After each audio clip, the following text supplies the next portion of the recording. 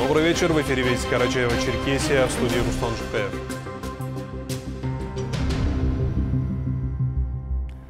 В Черкеске вручили удостоверение доверенному лицу Владимира Путина, кандидата в президенты России. Участнику спецоперации, специальному координатору Фонда поддержки участников СВО «Защитники Отечества» Замиру Гусову. Ему передал удостоверение руководитель аппарата регионального избирательного штаба Мухтар Алиев. На доверенных лиц возложена важная миссия – вести прямой диалог с гражданами нашей страны, и мы уверены, что за мир достойно представит Владимира Владимировича, отметил Мухтар Алиев. Напомним, выборы президента России пройдут с 15 по 17 марта. Мы являемся связующим звеном между своим народом, народом своей республики и действующим президентом Российской Федерации. И хотелось бы сказать спасибо всем, кто помогает, Внесены изменения в законодательство, регулирующие использование снегоходов и квадроциклов. Не так много времени осталось до начала капитального ремонта одного из наиболее известных 25 декабря 2023 года вступил в силу федеральный закон номер 625 ФЗ. Им предусматривается возможность управления снегоходами и квадроциклами на основании водительских удостоверений, подтверждающих право на управление транспортными средствами категории А, Б, С, Д и подкатегории Б1МС. До 25 декабря управлять снегоходами и квадроциклами можно было только на основании удостоверения тракториста-машиниста категории А1. Теперь управлять такими самоходными машинами можно также на основании водительских удостоверений, дающих право на управление мотоциклами, легковыми и грузовыми автомобилями, автобусами и квадроциклами с мотоциклетной посадкой или рулем мотоциклетного типа. При этом водительские удостоверения категории А или подкатегории Б1 с мотоциклетной посадкой или рулем мотоциклетного типа подтверждают право на управление внедорожными самоходными машинами категории А1 без ограничений, а водительские удостоверения категории Б, С и Д подтверждают такое право только при соблюдении ряда условий. Такими условиями являются наличие договора аренды, проката или иного возмездного договора, предусматривающих временную передачу гражданину самоходной машины в управление. Не так много времени осталось до начала капитального ремонта одного из наиболее известных зданий столицы Карачаева-Черкесии – Построенный в 1961 году бывший Дом пионеров, а затем Дворец детского творчества имени Гагарина ожидает преображения в рамках нацпроекта «Культура». О ближайшем и будущем городского центра культурного развития в сюжете Артура Мхце.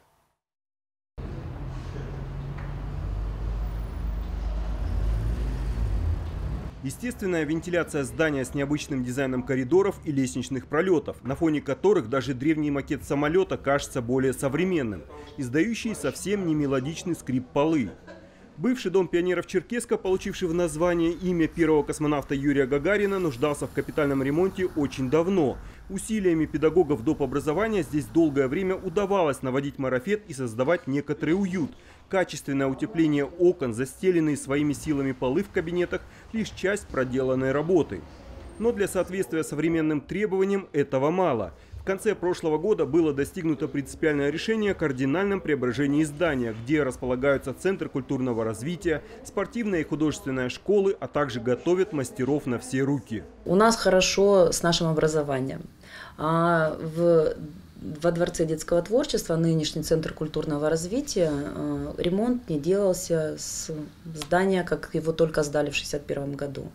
То есть э, своими силами каждый год учителя э, делали ремонт, где-то подкрашивали, где-то ремонтировали. Но капитального ремонта никогда, скажем так, не было.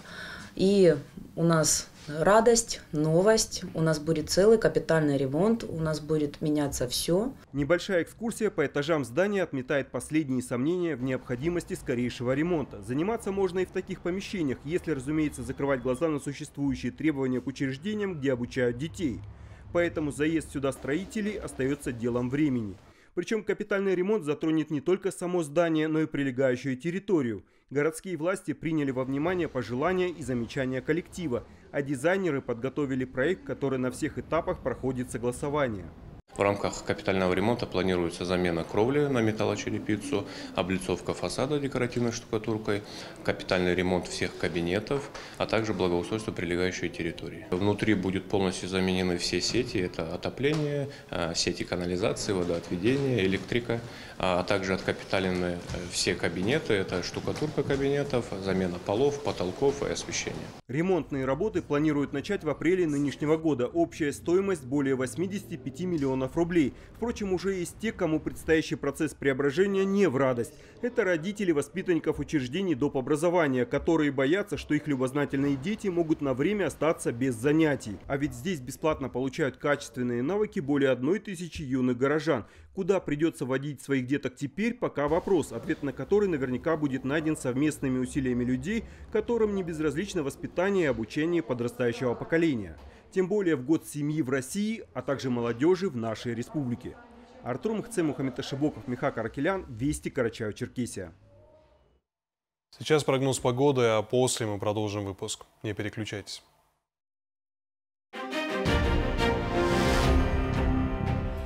В Карачаево-Черкесии облачно, ночью преимущественно без осадков. Днем местами осадки, дождь и мокрый снег, ветер западный 6-11 метров в секунду а в горах будут порывы до 15-20. Температура ночью минус 3, минус 8, в горах до 13 градусов мороза, а днем до плюс 5 местами до минус 5 градусов. На дорогах гололедица. В Черкеске облачно, ночью без существенных осадков, днем небольшие осадки, дождь и мокрый снег. Ветер западный 6-11 метров в секунду. Температура ночью минус 6, минус 8, а днем 1-3 выше нуля.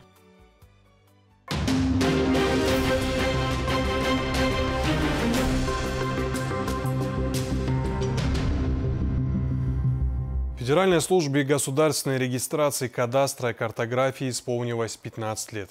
Прошедший год для РИЭ Росреестра по Карачаево-Черкесии был юбилейным. Его итоги подвела вместе с журналистами республики в информационной обстановке руководитель управления Аминат Батчаева. Подробности у Фатимы Дауровой. В ходе пресс-завтрака руководитель регионального управления Аминат Батчаева рассказала журналистам о законодательных инициативах госоргана и их реализации на территории республики, о том, как изменилась система регистрации недвижимости и Росреестр в целом за 15 лет. Одно из главных достижений, по мнению руководителя, увеличение скорости обработки запросов и оформления документов. Управление Росреестра по Карачаево-Черкесской республике, э, подводя итоги за год, могу сказать, что мы э, на высоком уровне, это категория 3А, э, достигли определенных результатов, можно сказать, у нас хорошие результаты по электронной регистрации недвижимости, можно сказать, по регистрации ипотек мы э, успеваем регистрировать в течение 8 часов. Важнейшим изменением стало также повышение доступности услуг Гросреестра. Если в 2000-е годы личное обращение в органы регистрации прав было единственным способом подачи документов на регистрацию, то в настоящее время документы могут быть представлены как в электронной форме, так и через офисы МФЦ. Упрощение процесса бумажной бюрократии стало залогом эффективности работы управления. Любое э, физическое лицо, обратившись э, в многофункциональный центр или ППК Роскадастра, либо э, сидя дома, может обратиться с заявлением и на кадастровый учет, и на государственную регистрацию прав. И все это делается уже в нашем органе. Также особое внимание уделяется борьбе с мошенничеством. Если раньше физические лица могли запрашивать любую информацию по объектам недвижимости, и там выходили персональные данные э, правообладателя, на сегодняшний день без разрешения самого правообладателя такая информация уже не выходит. На сегодняшний день Росреестром задействованы дистанционные методы в осуществлении государственного земельного надзора. Материалы аэрофотосъемки Съемки, выполненные с помощью коптеров, беспилотников помогают выявить нарушителей требований земельного законодательства, а также получить данные о рельефе и особенностях местности для единой электронной картографической основы. Большие изменения у нас по, если говорить по земельному надзору, у нас теперь два беспилотных летательных аппарата. То есть э, теперь э, можно э, их направлять по небу, и мы э, гектарами измеряем. В ходе встречи Аминат Бачаева выразила благодарность и признательность представителям региональных СМИ за объективное освещение деятельности управления и многолетнее информационное сотрудничество. Фатима Дорова, Либастанов, Ислам Урумов, Вести, Карачаева-Черкесия. В новогодние праздники на 12% выросло число гостей в Архизе по сравнению с аналогичным периодом прошлого года. Канатными дорогами на курорте воспользовались более 74 тысяч человек. Благодаря микроклимату в Архизе много солнечных дней, а живописные долины знамениты первозданной красотой. На склонах гор разместили современные отели и апартаменты, а горнолыжные трассы манят различные категории сложности. Из солнечного Архиза репортаж Мурата Джанкезова. Просто супер! Зимняя сказка в Архизе не может оставить гостей равнодушной. Здесь можно отдохнуть от городской суеты всей семьей. В 10 километрах от поселка Архиз находятся две туристические деревни – Романтик и Лунная Поляна, на которых работают четыре канатные дороги. Моей целью было действительно э, впервые вывести детей в горы. Это их первая поездка на серьезный горнолыжный курорт. Место очень понравилось, оно достаточно тихое, спокойное. Мы живем э, в селе Архыз. Э, опять же, для детей это, видимо, оптимально, чтобы была такая вот спокойная обстановка. И трассы, погода, нам очень повезло с погодой. Одинаково весело как взрослым, так и детям. В Архизе можно отдыхать не только горнолыжникам, но и тем, кто хочет провести время с пользой как для здоровья, так и просто насладиться роскошными зимними пейзажами. Хоть курорт и молодой, но список развлечений растет с каждым днем. Туристы из Москвы, выбирая его, внимательно оценили качество трасс и канатных дорог. Отдыхается отлично, долго планировали, причем мы выбирали именно курорт, который подошел бы для отдыха с детьми, поскольку они у нас только начали кататься на сноубордах, важно было, чтобы им, им было в первую очередь комфортно. Все нравится, все здорово, трассы отличные. Ну, во второй половине дня, конечно, уже их достаточно сильно раскатывают, но в целом это не мешает получать прям массу удовольствия. Как вам кататься? Не страшно было на сноуборде? Ну, сначала было немного страшно, потом, когда начали осваиваться, уже не так. Ну да, сначала было предвкушение, что там тут прям гора, а тут нормальные трассы. Горнолыжный курорт Архыз компактный, динамично развивается и совершенствуется. Отдохнув в этом месте хоть раз, туристы приезжают вновь. Ой, отлично отдыхается, погода великолепная. Ну, вообще, на мой есть были один раз, второй раз приехали. Из-за того, что есть очень красивая природа, очень хорошие погодные условия, мягкий климат. Ну и потом трассы понравились. Ну, я здесь уже второй, третий раз, ну, мне очень нравится. В плане того, что я раньше приходил просто тут как бы гулял, а сейчас я стал на, сноу, ну, на сноуборд, как бы научился кататься, уже намного больше как бы желания сюда приехать и покататься. Хорошо, нравится очень горный воздух. Есть и те, которые впервые приехали в Архыз и не пожалели о выбранном месте отдыха. Первый раз в Архизе. А, больше всего понравилась, понравилась поездка на фуникулерчиках, там тоже каталась я первый раз, и на сноуборде. Э, тут очень добрые люди. Могут помочь, где-то уступить с деньгами. Вот. Но в основном инструкторы очень доходчиво объясняют и очень помогают. Пребывание в горах запомнится надолго Алине не только активным отдыхом, но и романтикой пейзажа. Поэтому она и уверена в том, что вновь насладится зимней сказкой в Архизе – Альбина Ламкова, Ольга Савенко, Ислам Урумов. Вести, Карачаева-Черкесия.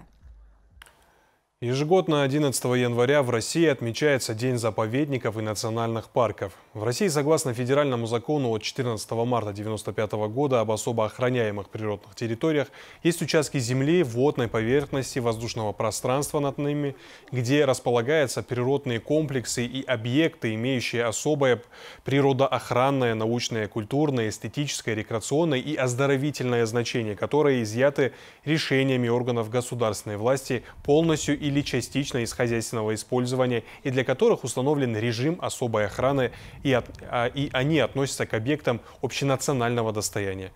Более чем одной трети Карачаева-Черкесии является особо охраняемой территорией. Это все вести на сегодня. Прямо сейчас смотрите продолжение фильма «Склихвасовский». Всего доброго и до встречи в эфире.